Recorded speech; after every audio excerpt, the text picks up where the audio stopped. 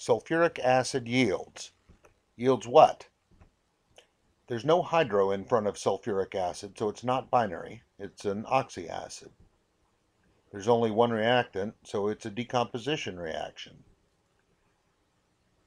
The acid name ends in IC, so the polyatomic ion must end in ATE.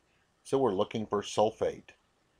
We write the H for the acid and sulfate after that. Sulfate has a minus 2 charge, which means we're going to need two hydrogens to make our sulfuric acid. So now, sulfuric acid again yields what? Our reaction rules say the decomposition of an oxyacid yields a nonmetallic oxide and water.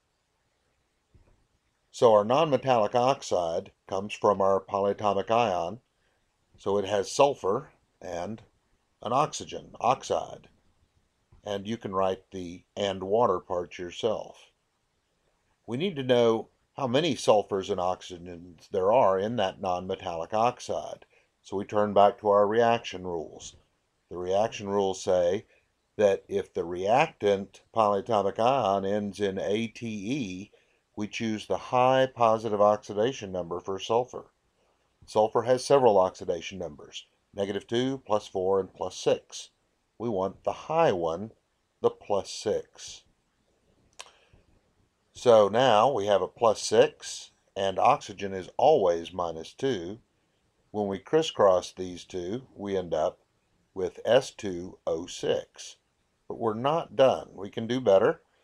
We can reduce this by dividing both of those numbers by 2, and we end up with SO3. So our final answer is that sulfuric acid yields sulfur trioxide and water.